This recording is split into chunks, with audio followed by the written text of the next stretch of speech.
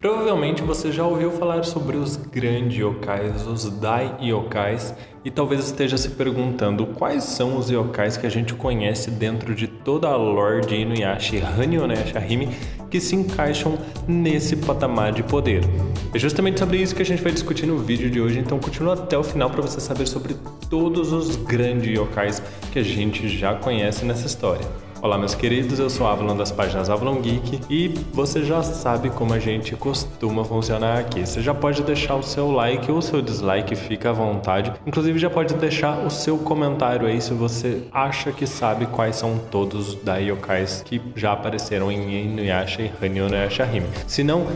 espera até o finalzinho do vídeo e aí você comenta aqui quem você acha que é o mais forte e quem você acha que nem deveria ser considerado um grande yokai, como vai aparecer aqui. Então, sem mais delongas, vamos começar com todos eles. O primeiro deles, é claro, não poderia deixar de ser Tuga, ou então o Inonotaisho, o grande cão general ou o grande cão demoníaco. Ele é ninguém mais do que o pai de Inuyasha e Sesshomaru, e a sua lenda, suas histórias já foram contadas por diversas vezes por vários personagens como Totosai e o próprio Miuga a respeito do quão poderoso ele era. Era um yokai muito respeitado e muito poderoso que inclusive criou duas lâminas a partir de suas próprias presas. A primeira sendo a Tessaiga que tem um poder descomunal para proteger os humanos e destruir yokais inimigos, e a segunda é a Tenseiga, derivada da primeira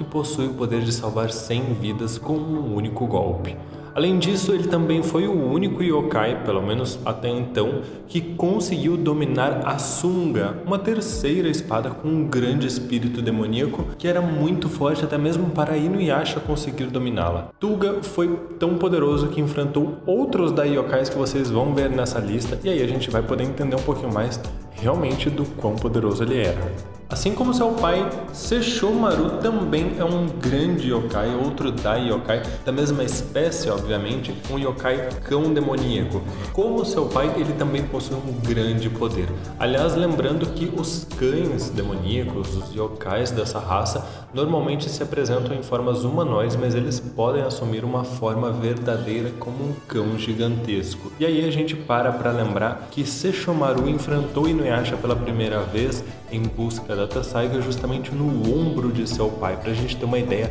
da diferença da proporção de poderes e tamanho entre Sesshomaru, que mesmo na forma de cão demoníaco ainda não chegava nem aos pés do tamanho de seu próprio pai. Mesmo assim, Sesshomaru teve uma grande evolução dentro da série de Inuyasha, se tornou cada vez mais poderoso e também compassivo, ao final conseguindo criar uma espada com seu próprio corpo, sendo ela a Baku Saiga, que possui um poder de destruição contínua, que continua destruindo o alvo mesmo que ele tente se regenerar. Outro yokai muito poderoso e muito impiedoso com os seus inimigos. É claro que, sendo filho de um Dai Yokai, a gente não poderia esperar nada além de que a mãe de Sesshomaru também estivesse nessa lista, aquela que ainda não tem um nome oficial, mas é várias vezes referida como Gobodo-sama, que é uma forma de tratamento lá no Japão, mas que também recebe apelidos carinhosos do fandom como Irasui, Inukimi e outros tantos que vocês já devem ter ouvido, é outra grande Daiokai. E embora não tenha nunca demonstrado seus poderes em batalha, nós sabemos que possui também uma forma como um cão gigantesco, tão grande quanto o próprio Sesshomaru, além de carregar consigo a Pedra do Meido, a pedra que possibilita ela acessar e ter até mesmo conhecimento do que acontece no caminho para o outro mundo. Mas com certeza ela é uma yokai muito poderosa. Inclusive, se você quer entender um pouquinho mais sobre Inu no Taisho e essa família, eu tô deixando aqui no card para vocês um videozinho que eu já fiz sobre tudo que a gente sabe a respeito dele, para que vocês entendam um pouquinho melhor a história dele. Além disso, vocês também podem entender um pouco em outro vídeo que também vai estar nos cards a respeito da grande batalha que Ino no Taisho teve com o próximo da yokai dessa lista, que é justamente Ryukotsusei. Ryukotsusei é um grande yokai dragão, inclusive com aspecto bastante impressionante, um dos maiores yokais que a gente tinha visto até então dentro da lore de Inuyasha e que não só foi responsável por enfrentar Tuga, como também feriu ele mortalmente inclusive não sendo morto. E aí, se você quer entender um pouquinho melhor sobre essa batalha, confere o vídeo do card, porque ele não foi morto por Tuga, pelo contrário, ele foi selado graças a uma das garras do Tulga que perfurou seu peito, mesmo a pele dele sendo tão resistente quanto o aço e que acabou se tornando depois um oponente para Inuyasha quando ele tentava ali melhorar a Tessaiga que havia ficado muito pesada por conta de um canino que foi necessário para fazer liga depois dela ter sido quebrada. Com certeza vocês lembram de Ryukotsei e do quão poderoso e impressionante ele era até mesmo na sua aparência, um grande dragão e podia lançar várias rajadas de energia extremamente poderosas, este é um inimigo que com certeza nenhum de nós gostaria de ter pelo caminho. Agora nós começamos com alguns nomes talvez um pouco menos óbvios para vocês e outro deles é Taigoku Maru, um grande yokai morcego, justamente o avô de Shiori que a gente conheceu lá por volta do episódio 73 de Inuyasha e que possuía também grandes poderes em relação a lançar rajadas de energia.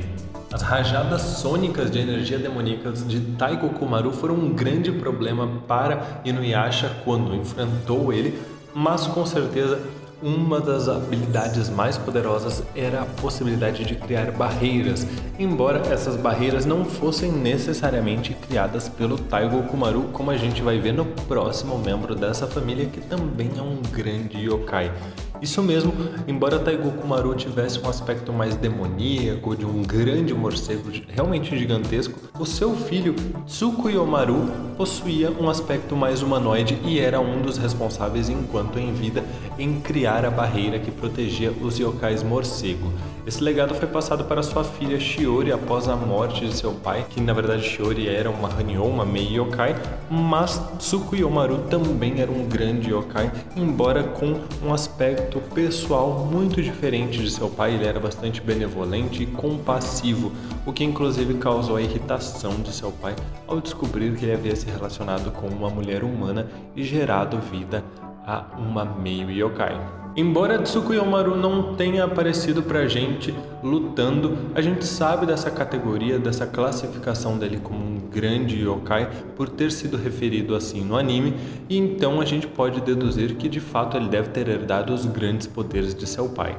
Lembrando desde já que isso aqui não significa que todos eles tenham o mesmo nível de poder, eles apenas foram referidos como yokais bastante memoráveis, seja pelo seu grande poder, seja até mesmo talvez pelo seu tamanho, sua postura. Eles são grandes yokais, são da yokais, ainda que alguns pareçam mais fortes do que outros. O próximo deles é justamente o Rei Pantera, que foi um inimigo de Ino no Taisho e foi justamente o líder da tribo dos yokais pantera e yokais gatos, a depender da tradução que vocês assistiram Inuyasha. Esse personagem exclusivo do anime havia sido morto e a gente vê ele voltar à vida para enfrentar os filhos de Toga e a gente percebe que ele tem um tamanho gigantesco tão grande quanto o próprio Sesshomaru em sua forma verdadeira.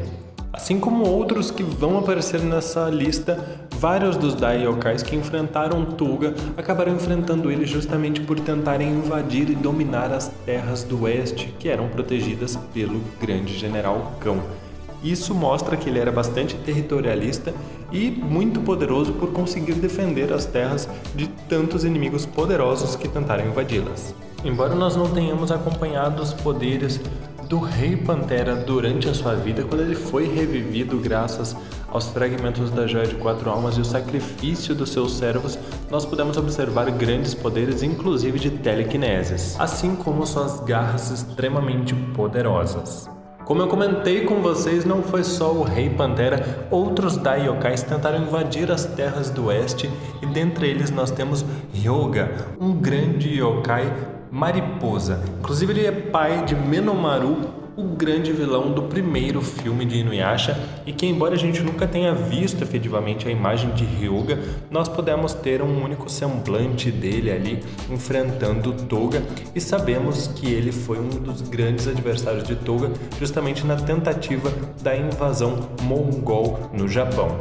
Ryoga foi derrotado por Toga, mas embora seu corpo físico tenha sido destruído, os seus poderes permaneceram no local e acabaram sendo depois absorvidos pelo seu filho Menomaru, como a gente pôde ver nos eventos do primeiro filme de Inuyasha. Então acho que nada mais justo que além de Ryoga, a gente também considere Menomaru como um grande yokai, justamente por ter conseguido absorver os poderes de seu pai e ter adquirido aquela forma gigantesca do filme, tão poderosa que deu tanto trabalho para Inuyasha e seus amigos. Outro dos inimigos de Toga, e caramba, quantos ele deixou, não quantos inimigos ele fez, foi Shishinki. Shishinki é um yokai de espécie desconhecida, mas que o nome significa ogro da morte. Então talvez dê ali uma pista pra gente sobre o que ele significa, né? Que tipo de yokai ele é. Ele é o verdadeiro portador da Meido Zangetsuha, um dos lunares das trevas. Ele é o criador dessa técnica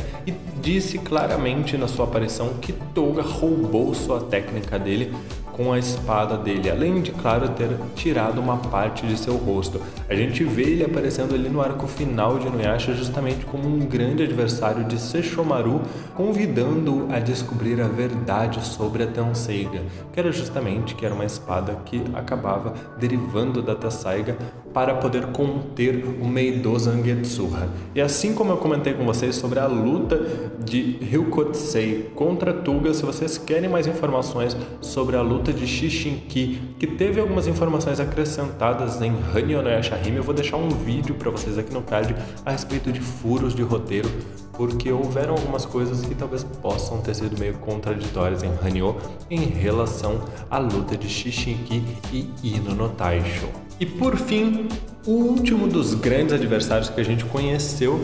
de Toga é justamente Kirin Maru, o atual antagonista ou talvez apenas anti-herói que a gente tem que está enfrentando as princesas Hanyo, as princesas meio yokais. E Kirin Maru, ele é justamente inspirado na criatura Kirin, que vocês já devem ter ouvido falar pelo menos, e aí tem várias piadas a respeito da aparência dessa criatura, que é uma verdadeira fusão de vários animais.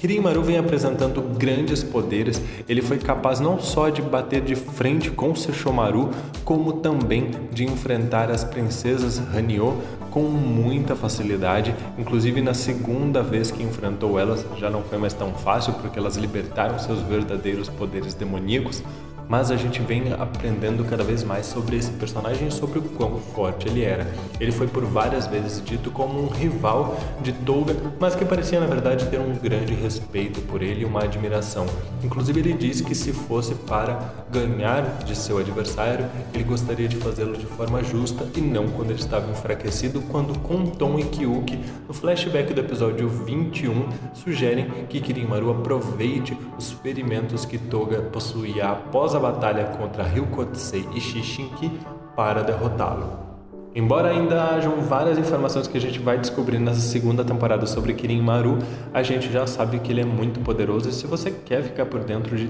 tudo que a gente vai descobrir sobre ele, então já se inscreve porque tem muita coisa que não apareceu nos episódios, mas que eu contei em vídeos aqui para vocês a respeito de entrevistas, de informações extras que foram sendo lançadas e vocês podem conferir tudo isso aqui no canal. Embora não se trate de uma inimiga de Toga, muito pelo contrário, Zero, por ser irmã de Kirinmaru, atualmente não tendo seus poderes demoníacos consigo, já que ela renunciou eles para criar as sete pérolas do arco-íris, é sim uma grande Daiokai, ou ao menos já foi em algum momento, uma grande yokai, uma Dai yokai muito poderosa. Embora a gente não saiba muito sobre os poderes dela, eu já fiz um vídeo explicando qual é o tipo de yokai que Zero é. Eu vou deixar aqui no card para vocês, para que vocês possam entender um pouquinho melhor sobre que natureza possui a yokai Zero. Hoshiomi é um outro grande yokai que apareceu em Inuyasha, sendo outro filler do anime, é justamente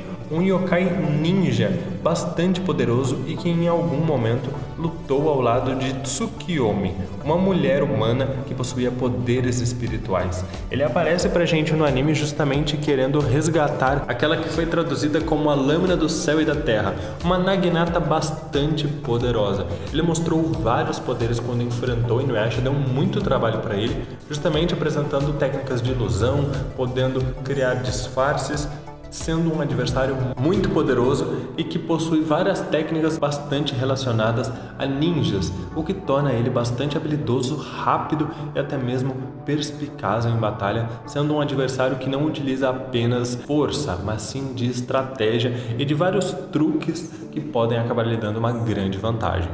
Isso sem contar na grande lâmina que ele carregava, que acho que dispensa maiores comentários, o seu próprio nome já sugere quão poderosa ela era, tendo que ter sido separada em duas, tendo uma parte inclusive selada no Monte Hakurei, justamente para garantir que nunca fosse reunida e seu poder avassalador nunca voltasse, o que não deu muito certo. Tekei, a mãe da princesa Abi, que foi inclusive utilizada como vítima de Naraki, para poder abrir o caminho ao outro mundo é uma grande yokai e embora a gente não tenha visto muito dos seus poderes, ela parecia bastante arrogante. A própria filha, princesa Abby, confiava muito nos poderes de sua mãe, porém ela não pôde mostrar muito desses poderes quando enfrentou Naraki justamente porque estava enfraquecida por ter comido um yokai venenoso mas ela de fato possui um aspecto gigantesco de uma grande galinha, inclusive seu nome é galinha de ferro na tradução, e ela é muito poderosa assim, um adversário bastante temido, inclusive por controlar aquelas centenas milhares de aves que estavam sob o poder da princesa Abby e que eram capazes de matar humanos com muita facilidade. Infelizmente a gente não viu muito dos poderes da TK, mas com certeza um animal que possui a habilidade de ligar este mundo ao outro por meio do seu sangue com certeza é bastante poderoso. Hosenki e seu filho Hosenki II, yokais concha ou algo nesse sentido, também não tiveram grandes oportunidades de mostrar os seus poderes. Na verdade, o primeiro pôde mostrar seus poderes após a morte, justamente ali no túmulo, naquele limite entre este mundo com o outro, no túmulo do Inonotai Touga, enfrentando Inuyasha e também enfrentando depois Naraki quando este apareceu naquele local. Os dois são conhecidos como grandes yokais, mas na verdade a gente não tem muita ideia se é por causa dos seus poderes em batalha ou apenas pela sua grande habilidade de criar pérolas, joias e itens mágicos, como é justamente com as pérolas negras e também com as lanças de diamante. A gente não tem muita certeza, mas que eles já foram referidos como grandes yokais, dando a entender o seu nível de superioridade. Isso com certeza aconteceu. Talvez seja talvez até por conta da idade, a experiência, uma forma respeitosa de se referir a um yokai ancião e não necessariamente pelo seu nível de poder. Aqui nós temos outros dois casos, na verdade quatro, e depois mais um que não está relacionado, que é justamente os quatro deuses da guerra ou Shitoshin, que foram os inimigos do quarto e último filme de Inuyasha, que apareceram na ilha de Horaijinha. Justamente Ryura, Kyura, Jura e Goura foram inimigos bastante problemáticos para Inuyasha e seus amigos e mostraram um grande nível de poder. Eles podem ser considerados como grandes yokais se nós pensarmos por conta da sua existência longa, bastante vivida e inclusive por terem sido em algum momento adversários de Sesshomaru e Inuyasha, mostrando seu poder superior. Inclusive servos do pai de Sesshomaru se colocaram contra Kyura, mas não foram suficientes para derrotá-lo. A união do poder dos quatro dava vida justamente a uma criatura Ryura numa forma totalmente monstruosa e ainda mais poderosa, talvez significando que de fato o poder dos quatro unidos se equipara a de um grande yokai, um Dai Yokai. Mas na verdade isso nunca foi diretamente confirmado, a gente apenas acredita por conta da demonstração do seu poder naquele filme, que era bastante poderoso e por conta da sua grande longevidade. Normalmente, grandes yokais são aqueles que perduram por muito tempo, que acabam vivendo muito por serem tão poderosos, e são poucos os inimigos que vão se atrever a enfrentá-los. Quando o fazem, normalmente acabam sendo derrotados. Por fim, outra sugestão, talvez um pouco polêmica, que é justamente Kaguya, a princesa que aparece no segundo filme de Inuyasha. Inclusive, vocês devem ter percebido que essa lista foi montada com auxílio de informações do Inuyasha Profiles e também da própria Inuyashapedia, que a gente tem algumas informações. E aí, Kaguya pode ser considerada uma grande yokai em justamente por ter em algum momento absorvido uma criatura celestial, uma Tenio, que foi na tradução chamada de anjo. Inclusive, confere meu vídeo a respeito da Ren ser um anjo que está aqui no card, em Hanyon Shahim, e ela possui grandes poderes, inclusive longevidade, praticamente uma vida eterna, e viveu por muito tempo tendo sido que ser aprisionada para ser contida, não sendo uma adversária tão fácil de ser derrotada. Ela é tão poderosa que o próprio Naraki almejava os seus poderes de Tenyo que haviam sido absorvidos, então a gente pode considerar que talvez por conta desses poderes sagrados ela seja de fato uma grande yokai. Embora em questões ofensivas ela possa não ser uma combatente direta, ela mostrou grandes poderes, podendo não apenas criar ilusões e transformar o coração de seus inimigos usando o seu lado mais sombrio, mas também devolvendo golpes que haviam sido desferidos contra ela. E bom, pessoal, essa é a minha lista. Na verdade, é uma lista que, como eu já disse, tem as suas fontes, mas que traz de algum dos grandes yokais, dos dai yokais que a gente conhece até o momento. Alguns, de fato, com certeza são mais fortes do que outros. E eu quero saber de vocês. Quem são os mais fortes e os mais fracos? Tem alguém que você acha que nem devia estar nessa lista? Comenta aí, deixa o seu like ou o seu dislike, fica à vontade. Mas se você quer que esse canal continue crescendo, quer me ajudar com o meu trabalho, já sabe, você pode compartilhar esse vídeo, manda no grupo do Facebook, no grupo do WhatsApp, porque tem muita gente que nem notificação está recebendo. Então ativa o sininho aí, se já está ativado e mesmo assim não está recebendo notificação, desativa e ativa de novo. Não vamos perder nenhum conteúdo, porque logo logo o Ranil está de volta e eu tenho certeza que vocês vão querer ter tudo em primeira mão. Meus queridos, um grande abraço e até mais.